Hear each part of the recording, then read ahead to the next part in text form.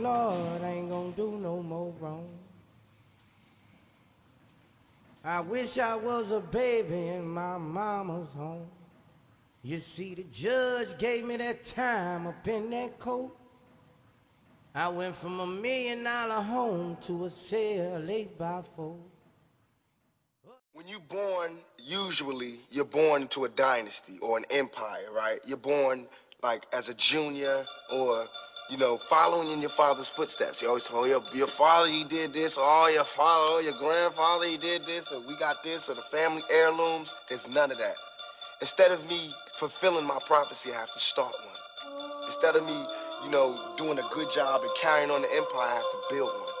And that's that's a hell of a job for a 21 year old.